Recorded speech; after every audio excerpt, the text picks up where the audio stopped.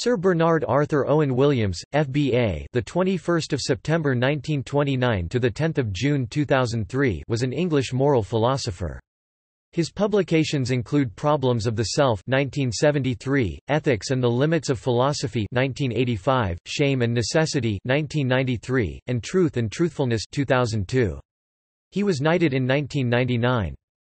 As Knightbridge Professor of Philosophy at the University of Cambridge and Deutsch Professor of Philosophy at the University of California, Berkeley, Williams became known for his efforts to reorient the study of moral philosophy to psychology, history, and in particular to the Greeks. Described by Colin McGinn as an analytical philosopher with the soul of a general humanist, he was skeptical about attempts to create a foundation for moral philosophy. Martha Nussbaum wrote that he demanded of philosophy that it come to terms with, and contain, the difficulty and complexity of human life.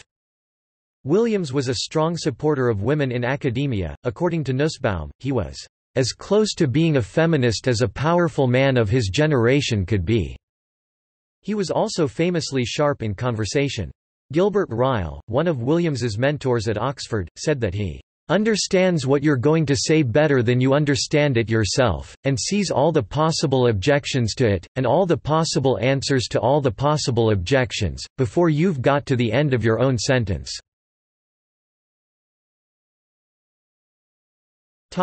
Life Early life and education Williams was born in Westcliff-on-Sea, a suburb of Southend, Essex, to Hilda Amy Williams, née Day, a personal assistant, and Owen Pasley Denny Williams, chief maintenance surveyor for the Ministry of Works. He was educated at Chigwell School, an independent school, where he first discovered philosophy. Reading D. H. Lawrence led him to ethics and the problems of the self.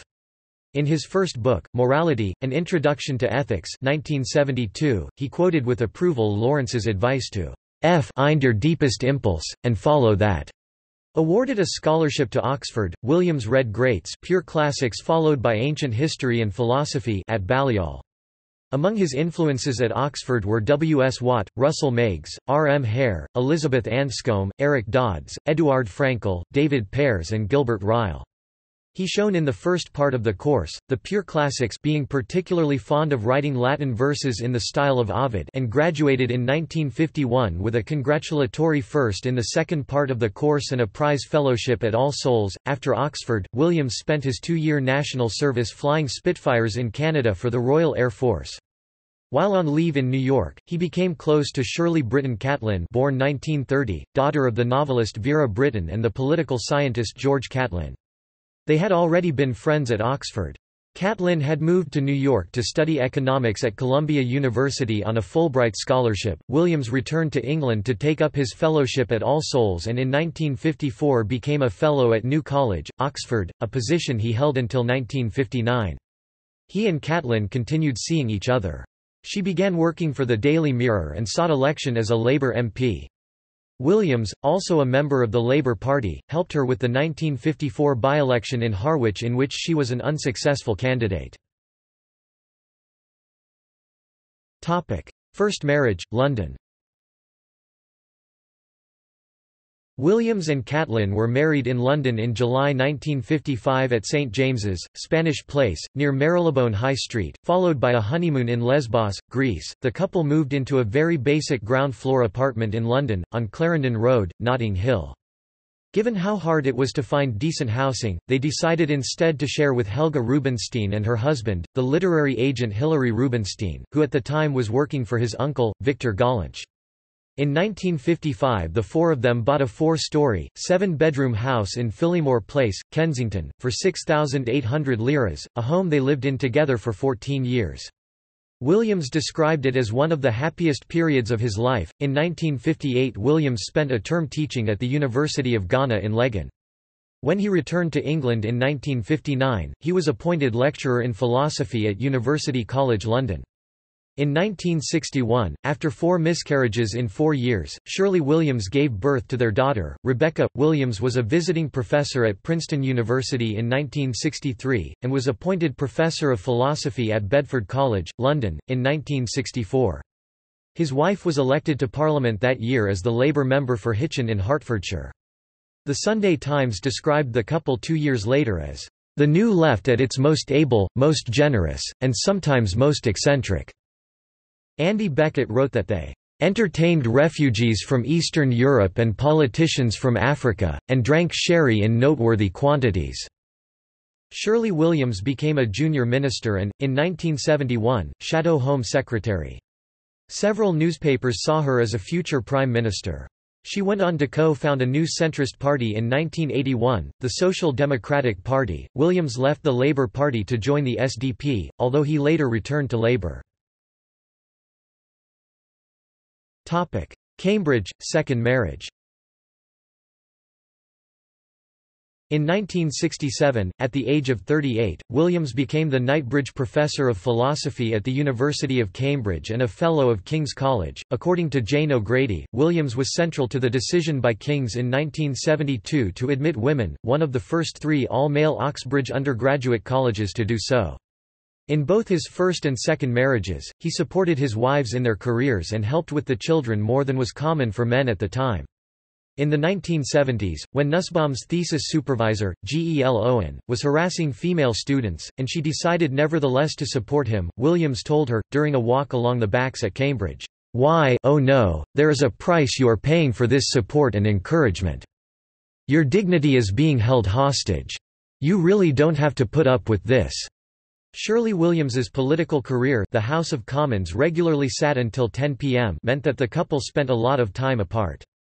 They bought a house in Furneaux Pelham, Hertfordshire, near the border with South Cambridgeshire, while she lived in Phillimore Place during the week to be close to the Houses of Parliament. Sunday was often the only day they were together.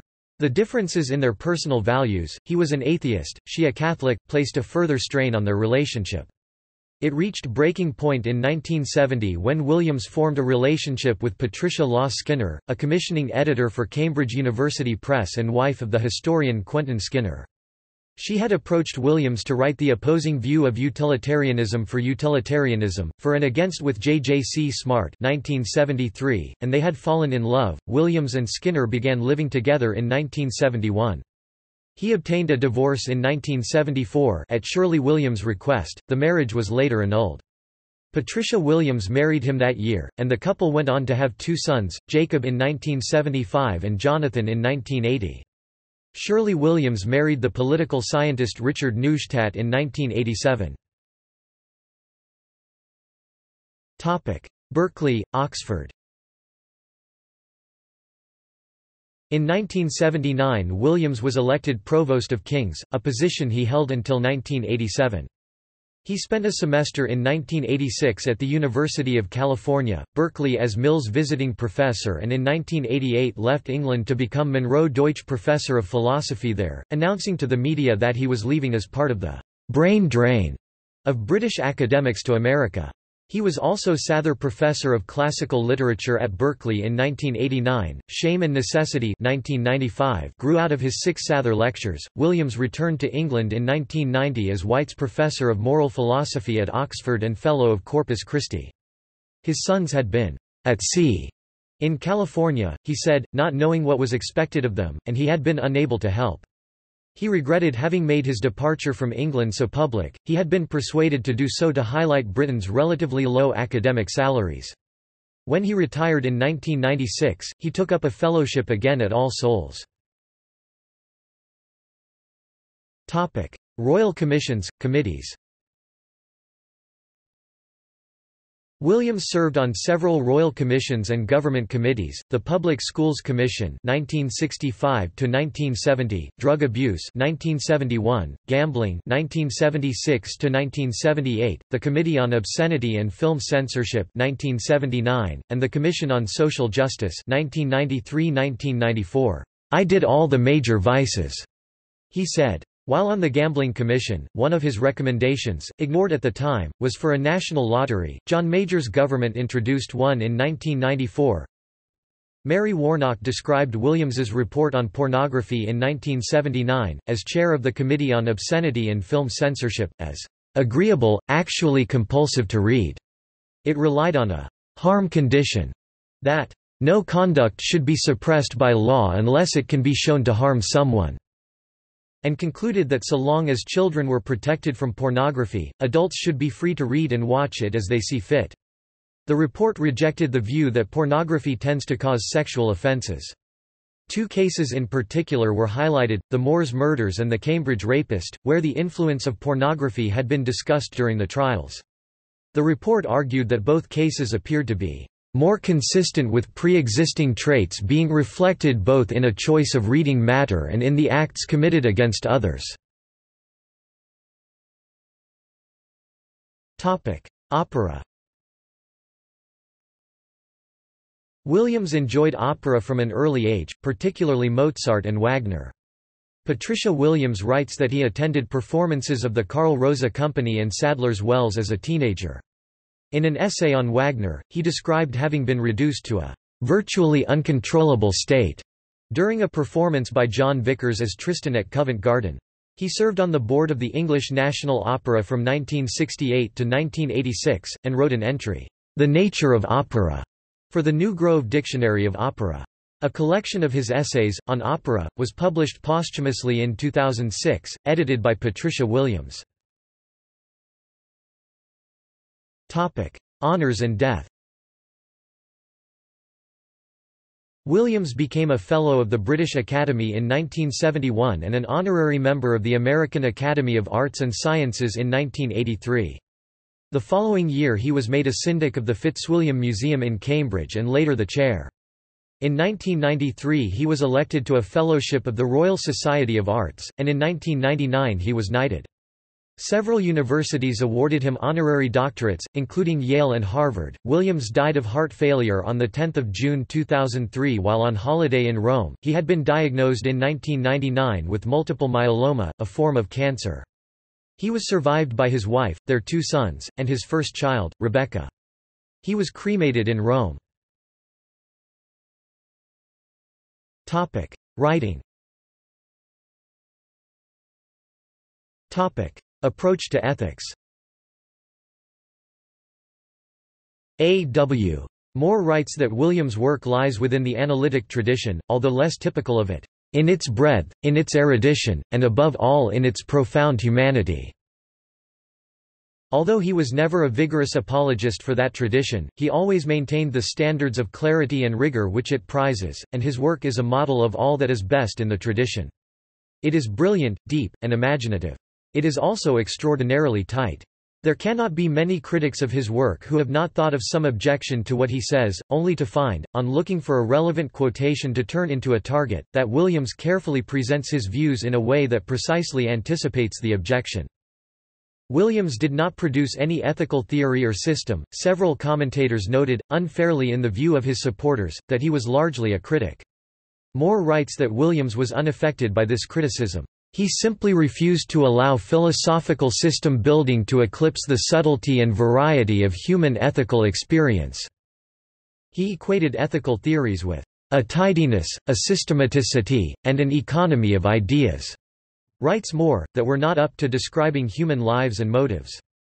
Williams tried not to lose touch with the real concerns that animate our ordinary ethical experience, unlike much of the arid, ahistorical, second-order Debates about ethics in philosophy departments. In his first book, Morality, An Introduction to Ethics 1972, Williams wrote that whereas, "...most moral philosophy at most times has been empty and boring c contemporary moral philosophy has found an original way of being boring, which is by not discussing moral issues at all."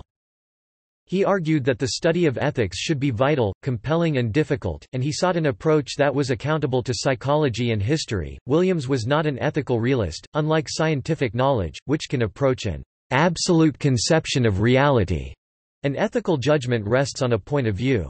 He argued that the thick ethical concepts, such as kindness and cruelty, express a union of fact and value.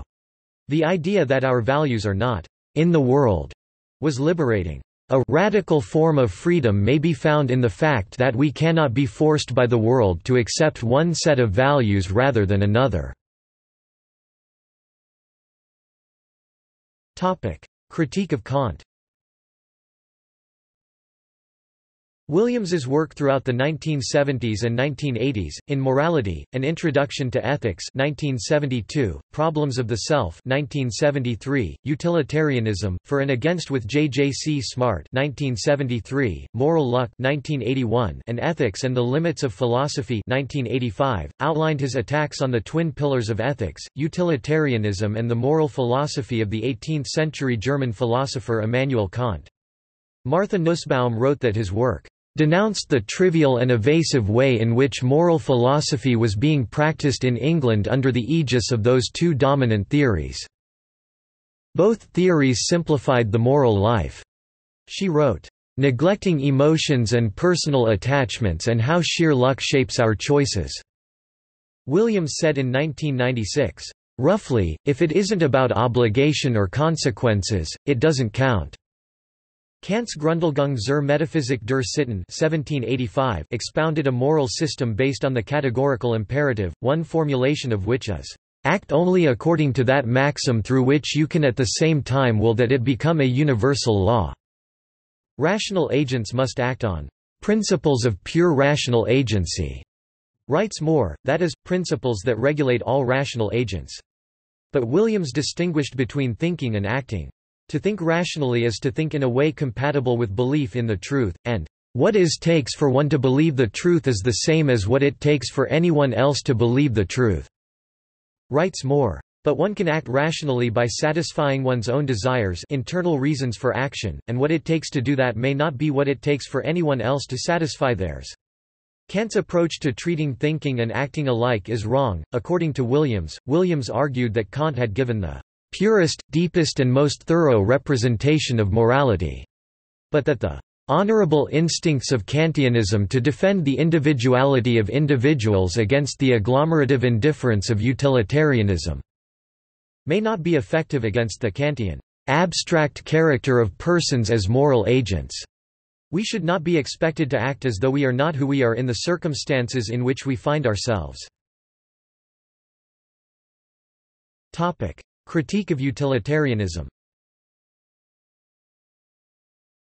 Williams set out the case against utilitarianism, a consequentialist position the simplest version of which is that actions are right only insofar as they promote the greatest happiness of the greatest number, in Utilitarianism, for and Against 1973 with J. J. C. Smart. One of the book's thought experiments involves Jim, a botanist doing research in a South American country led by a brutal dictator. Jim finds himself in a small town facing 20 captured Indian rebels. The captain who has arrested them says that if Jim will kill one, the others will be released in honor of Jim's status as a guest, but if he does not, they will all be killed. Simple act utilitarianism would favor Jim killing one of the men. Williams argued that there is a crucial distinction between a person being killed by Jim, and being killed by the captain because of an act or omission of Jim's. The captain, if he chooses to kill, is not simply the medium of an effect Jim is having on the world. He is the moral actor, the person with the intentions and projects. The utilitarian loses that distinction, turning us into empty vessels by means of which consequences occur. Williams argued that moral decisions must preserve our psychological identity and integrity. We should reject any system that reduces moral decisions to a few algorithms. Topic: Reasons for action. Williams argued that there are only internal reasons for action. A has a reason to phi if A has some desire the satisfaction of which will be served by his phi-ing. An external reason would be, A has reason to phi, even if nothing in A's subjective motivational set would be furthered by her phi-ing. Williams argued that it is meaningless to say that there are external reasons, reason alone does not move people to action. Sophie Grace Chappell argues that, without external reasons for action, it becomes impossible to maintain that the same set of moral reasons applies to all agents equally.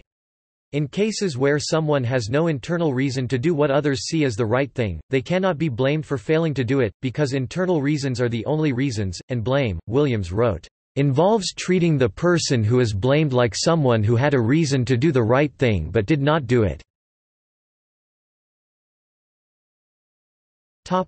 Truth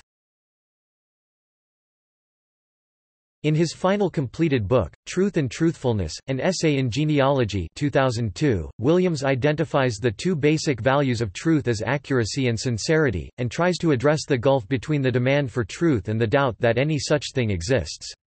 Jane O'Grady wrote in a Guardian obituary of Williams that the book is an examination of those who sneer at any purported truth as ludicrously naive because it is, inevitably, distorted by power, class bias and ideology. The debt to Friedrich Nietzsche is clear, most obviously in the adoption of a genealogical method as a tool of explanation and critique. Although part of Williams's intention was to attack those he felt denied the value of truth, the book cautions that, to understand it simply in that sense, would be to miss part of its purpose. Rather, as Kenneth Baker wrote, it is Williams' reflection on the moral cost of the intellectual vogue for dispensing with the concept of truth. Legacy Williams did not propose any systematic philosophical theory, indeed, he was suspicious of any such attempt. He became known for his dialectical powers, although he was suspicious of them too. Alan Code wrote that Williams had never been impressed by the display of mere dialectical cleverness, least of all in moral philosophy.